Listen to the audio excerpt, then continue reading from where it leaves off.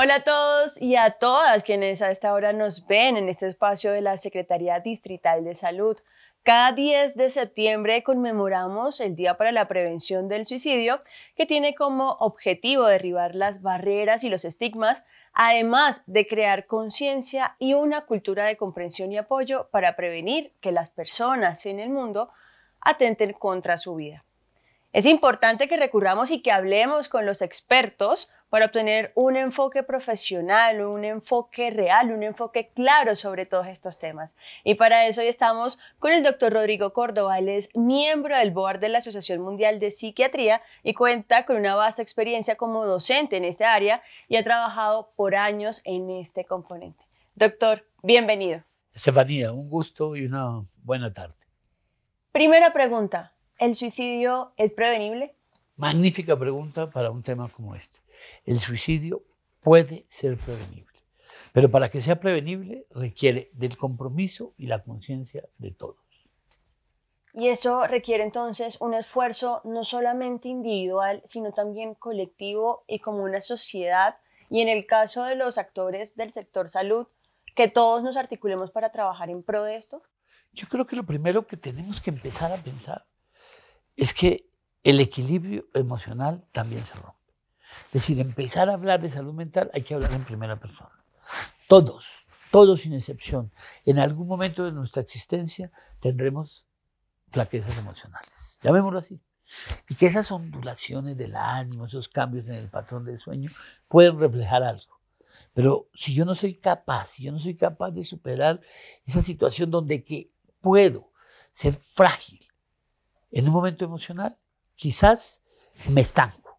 Entonces, si yo soy capaz de pensar que el equilibrio emocional también se rompe, sin lugar a dudas, podemos tener la perspectiva de prevenir una situación que se ha vuelto un flagelo de política pública, el acto de atentar contra sí mismo, que es el suicidio, que podríamos diferenciarlo como en tres estadios.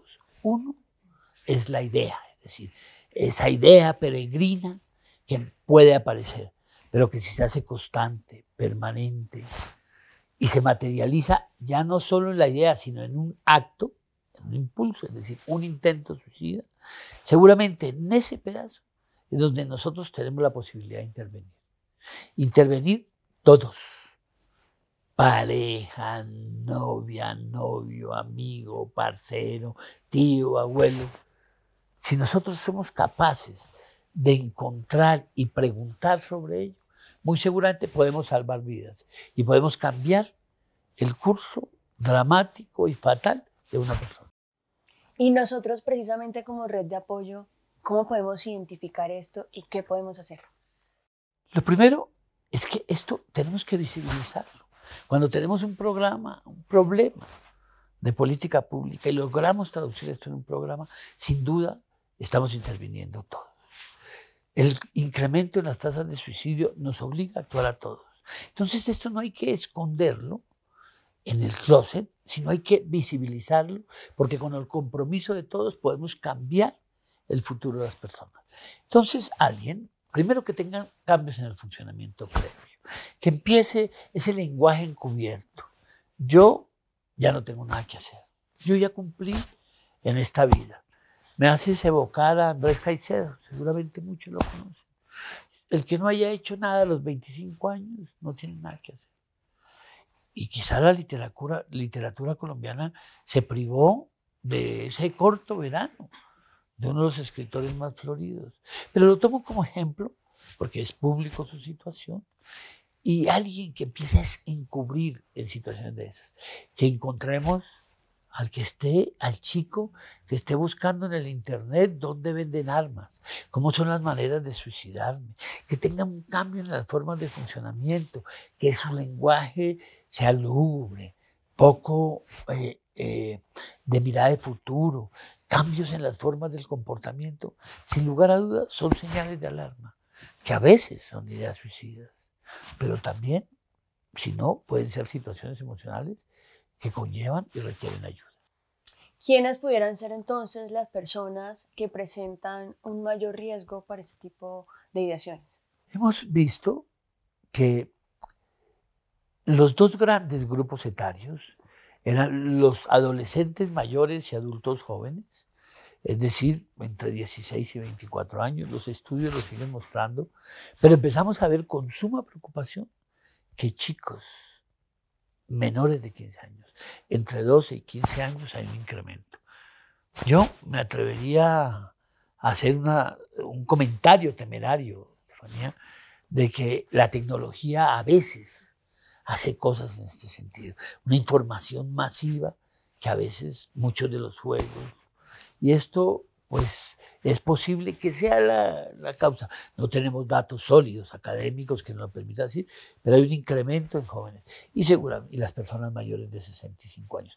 Esos son los grandes grupos etarios que tienen una preocupación. Pero de hecho es una situación que en todos los grupos etarios se presenta. Y en cuanto a hombres y mujeres, ¿cómo se diferencia esto? Es una, es una de los motivos de estudio interesantes, porque vemos que las mujeres tienen más intentos suicidas, pero los hombres se suicidan más que las mujeres. ¿Por qué? Porque la letalidad, la impulsividad, que casi siempre es el gatillo. Últimamente hemos visto que además de impulsividad, desesperanza, acompaña más a los hombres. El estar armados, el ser más impulsivos. Entonces, en las ideas, en la ideación suicida y en los intentos hay más mujeres que hombres. Pero en los suicidios consumados hay más hombres que mujeres. ¿Y cree que este tema, por ejemplo, en el, tema, en el caso de los hombres, sea por estas costumbres culturales o este arraigo que hay de machismo de yo no expreso mis emociones porque un hombre no llora, porque un hombre no es débil, o por esta, o no tiene que ver? Sin duda, desde el Fausto, eh, los hombres tendemos a expresar menos emociones. Y una cultura machista como en América Latina pues estar deprimido, mostrarse triste. Aún en esa vieja figura victoriana de llorar en público es una señal de debilidad. Entonces los hombres tienden a ocultar la depresión.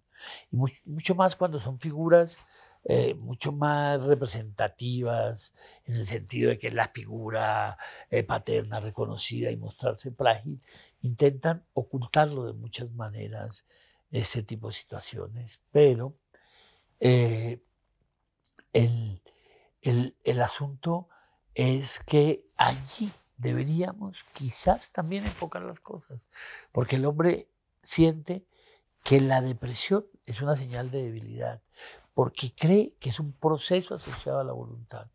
Y esto no es solo voluntad, esto es un fenómeno asociado a una entidad clínica, una enfermedad como tal. la depresión es la enfermedad tan o más común que las enfermedades físicas precisamente abordando como todo este tema de la sociedad, de todo lo que hay alrededor, de estos estigmas y demás, yo creo que todavía hay muchos estigmas para uno decir, necesito ayuda y las respuestas que pudieran recibir. ¿Cuál cree usted que son esos principales taras que nos están llevando a y qué debemos hacer nosotros como sociedad? Lo primero es reconocer que la mente es una función del cerebro como el movimiento, como las... Son funciones de los músculos. La mente es una función del cerebro. Y la mente, los pensamientos, la conducta, son funciones del cerebro. Entonces, si nosotros como seres humanos somos capaces de aceptar que podemos tener fragilidad emocional, que tenemos posibilidad de tener momentos difíciles, que esas emociones se pueden volver patologías, que si esas patologías requieren un tratamiento, es como quien consulta por un problema cardiológico, por un problema muscular, por un problema ortopédico. Pero además de eso, si somos capaces de entender que las emociones en algún momento nos pueden traer dificultades o escollos, pues sin duda también podemos buscar a alguien que nos ayude. Pero si además de ello entendemos que gestionar las emociones en el día a día a todos se nos presentan momentos estrechos, oscuros, difíciles, y podemos buscar a alguien que nos ayude. Sin duda tenemos posibilidades de tener una vida mejor, una ciudad mejor y un país mejor. El capital de una nación es la salud mental. A mí me encanta el concepto de red de apoyo, pero ¿qué es una red de apoyo y cómo puedo yo ser una red de apoyo sólida para una persona cercana a mí que tenga ideación suicida? primero es valorarle lo que siente, lo que expresa. No tiene ningún... escucharlo, no juzgarlo. Buscar un espacio y un lugar donde se puedan hablar de las cosas. Porque muy seguramente, si yo me acerco a decirte o a preguntarte o a contarte algo, tú me dices, pero yo se lo advertí, pero yo le había dicho, eso sí estaba cantado. Si yo empiezo con un juicio de valor personal, si no soy capaz de oír en un momento de angustia a alguien, es mucho más difícil. La oportunidad y el gran proceso es esa visión de la red de apoyo, construir colectivamente las posibilidades de que entre todos podamos apoyar a alguien en un momento de dificultad. ¿Cuál sería entonces ese kit de herramientas de primeros auxilios que nosotros deberíamos tener para hacer una buena red de apoyo para los que queremos? Lo primero es aprender a identificar las cosas del otro. Es decir, yo soy de una manera y empiezo a ser de otra. Escuchar las preocupaciones sin necesidad de construir un juicio.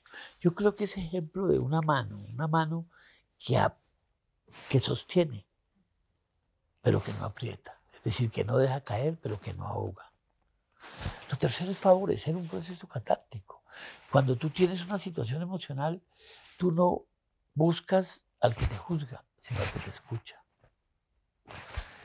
Tener la posibilidad de abrir las perspectivas. Pero también conscientes de que hay momentos en que tenemos limitaciones. Y en esas limitaciones busquemos quién nos puede ayudar. Y si no es suficiente, busquemos un profesional en salud mental. Llegamos a un punto. Dos, bueno, dos puntos. Uno, escuchar, pero el otro también, buscar un profesional. ¿En qué momento cuando yo escucho a la persona que quiero, a mi amiga, a mi compañero, a mi pareja, le puedo decir, necesitamos apoyo profesional? Yo creo que hay tres elementos fundamentales.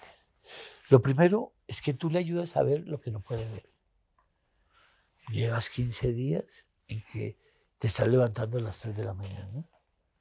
Llevas 15 días en que tú peleas con la comida y mira cómo has perdido de peso.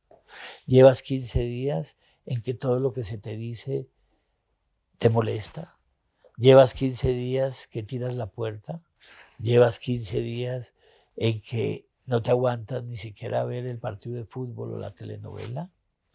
Llevas 15 días en que andas hablando que la vida no tiene gracia ni la vida tiene sentido. Eso te está trayendo las repercusiones que ni tú y yo estemos funcionando bien. Que tú no estás seguramente funcionando bien en el trabajo. Que tú estás teniendo dificultades en las esquinas. ¿Por qué no buscamos ayuda? Así como hay cardiólogos, así como hay ginecólogos, así como hay reumatólogos, hay psiquiatras, hay psicólogos clínicos. ¿Cómo seguimos en esa lucha de eliminar el estigma frente a los profesionales de la salud mental, sobre todo, por ejemplo, 10 de septiembre, es una fecha para que todos nos unamos y trabajemos y entendamos, y lo que usted dijo, hablemos de salud mental en primera persona. Con relación al suicidio, un día crucial, una fecha significativa, y celebro este entusiasmo y este compromiso de la Secretaría por una situación tan particular. Prevenir es preguntar. Prevenir es preguntar, es lo primero. Lo segundo, ha sido una batalla desigual contra el estigma, porque todos creen que esto es contra la voluntad. Esto es de la voluntad. Pon de tu parte, tú tan bonita, tú tan inteligente, tú tan adaptada. Pon de tu parte. Y a veces no es suficiente poner de tu parte. Y nos metemos en esos procesos de inmersión. Los estantes están llenos de libros, de la energía positiva.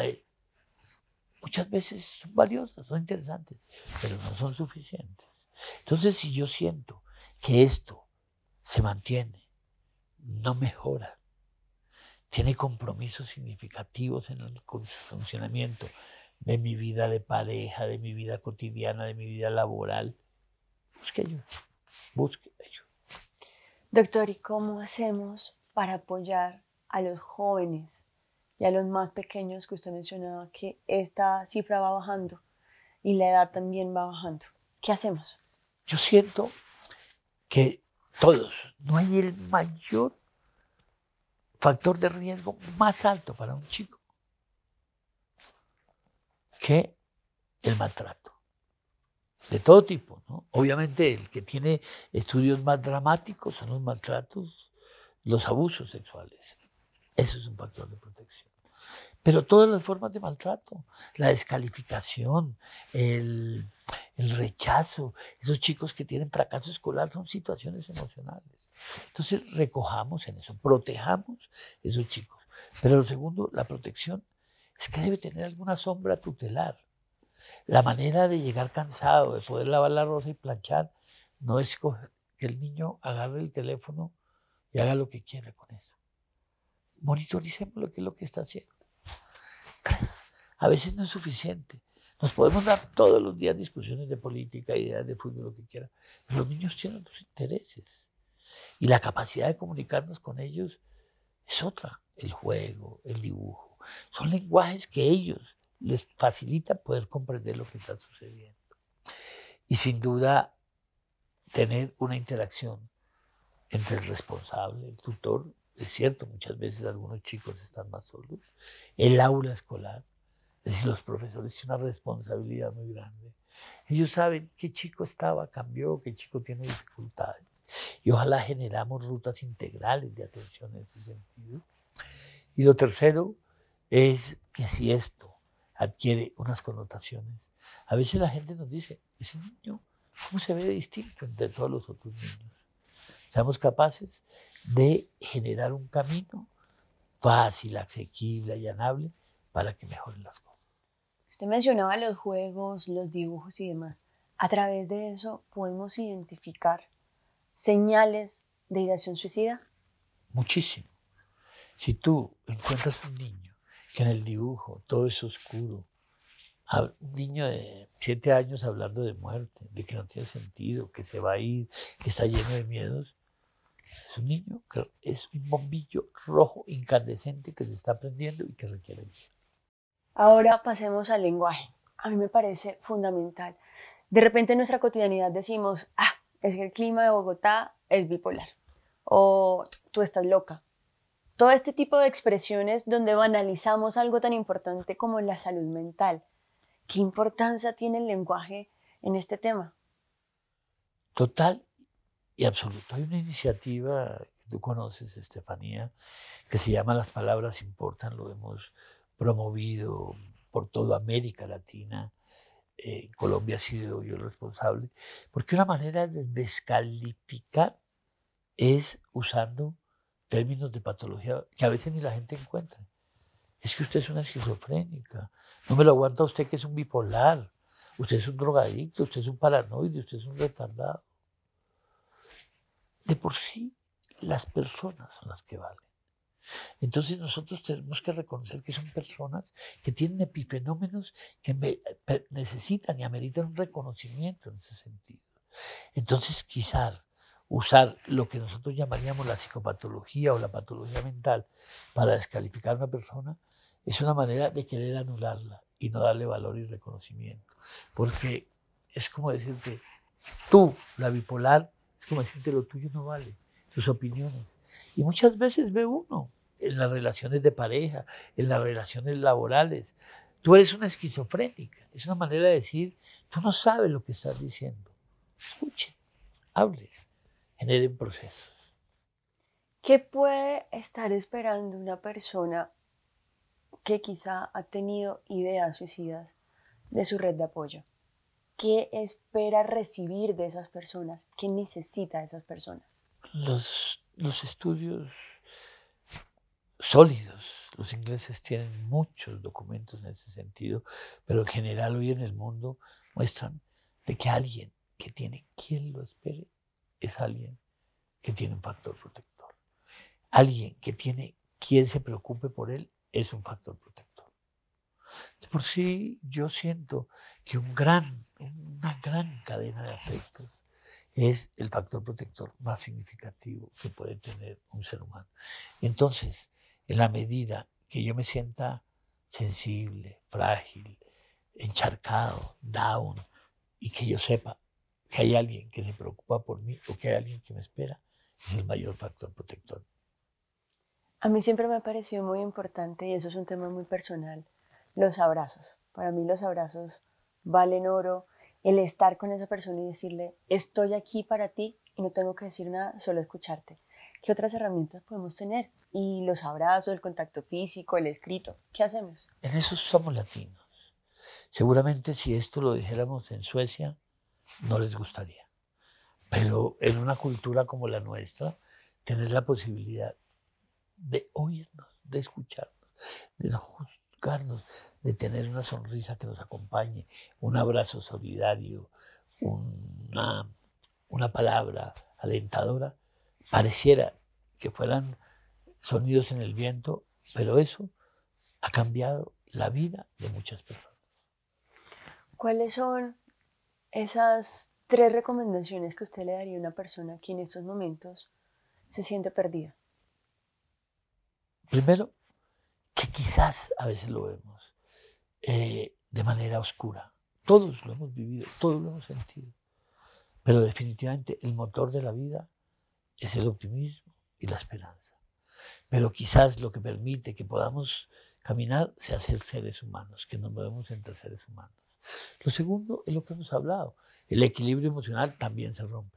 Es decir, esas flaquezas las hemos tenido todos, en primera persona, todos sin excepción. Y lo tercero es que hay una red de apoyo. Hoy en día y cada vez más, eso no es desvergonzante, eso no es de fragilidad, eso no es de debilidad. Eso es que somos seres humanos, que así como nos fallan los riñones, los pulmones, los músculos, nos fallan los fenómenos mentales, las emociones, llamémoslo como quieras. Pero hay alguien que está entrenado para trabajar y ayudar en eso. Para ir cerrando, ¿cómo empezamos nosotros a normalizar sentarnos a comer, sentarnos a almorzar con nuestros compañeros de trabajo, o cuando salimos a escuchar música con nuestros amigos y hablar de salud mental? Que sea uno de los tantos temas que nosotros abordamos y hablar, hombre, yo voy a terapia porque lo necesito. Creo que es un proceso que cada vez más se abre eh, llamativamente y, bueno, saludablemente. Eh, cuando encuentra uno personas de la farándula muy conocidas, muy reconocidas, amigos, y todos terminan hablando de que han tenido fenómenos emocionales. Tú ves que artistas muy reconocidos internacionalmente hablan hoy más abiertamente de su salud mental, artistas reconocidos internacionalmente tranquilamente hablan de sus patologías, establecen plataformas, generan procesos en ese sentido. Entonces, es la capacidad que los seres humanos tenemos esa posibilidad. Entonces, quizás ese carácter vergonzante tiene que traducirse en un empoderamiento. Cualquier patología está por debajo de como personas. Valemos mucho más como personas que como las patologías. Eso es como eh, que nos dé vergüenza porque tenemos diabetes o porque tenemos hipertensión. Para cerrar, ¿cuál es ese mensaje que deja usted para este 10 de septiembre, para las personas que no la están pasando bien y para quienes podemos hacer algo? Prevenir es preguntar. Prevenir es preguntar. Eso salva vidas de manera dramática. Hay que hablar de salud mental en primera persona. No es vergonzante, es de todos todos los seres humanos en algún momento de su existencia tienen una situación difícil en términos emocionales, malícela, busque y busque ayuda, porque el equilibrio emocional también se rompe. Muchísimas gracias, doctor. Y nosotros, desde la Secretaría Distrital de Salud, estamos convencidos que la salud mental hace parte de más bienestar, hace parte de ese bienestar colectivo que nosotros debemos generar. Y por eso también tenemos unas líneas de apoyo pueden contactar al chat de WhatsApp de la línea 106, que es 300 754 8933. Ser escuchados, ser atendidos y poder hablar, creo que es el primer paso y de lo más importante para nosotros empezar a hablar en primera persona de salud mental. Muchísimas gracias, doctor. Un gusto, Estefania. Y bueno, aquí estamos para servir.